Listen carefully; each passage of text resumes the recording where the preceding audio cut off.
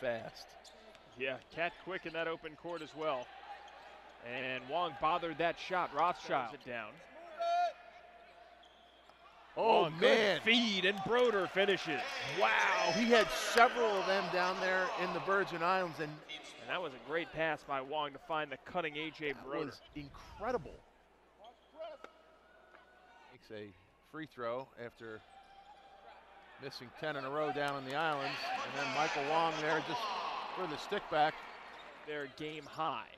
There's a three launched just off the front of the rim, and Tariq Baker got a really good look at that one. Seven seconds to shoot for Penn. Wang puts it up off balance and hits. That'll bail you out of some bad offense sometimes. That is screen with a 17-foot jumper that he deftly knocks down. Now it's a run out Wang in transition, and he flushes it through.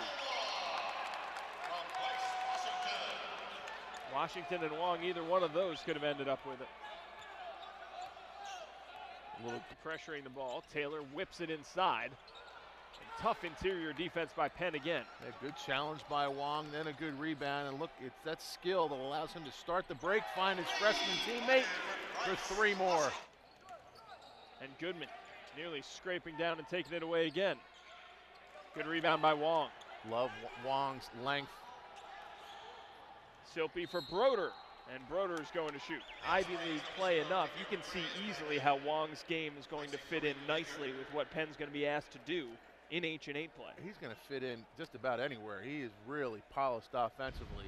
With the ball in his hands, Taylor steps back over Woods, and Wang with the rebound again.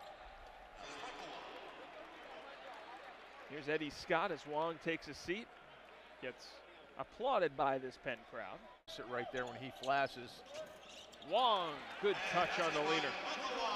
Michael Wang bails him out with his polished offensive game. Coming in the other way. And Wang with another rebound, able to secure it.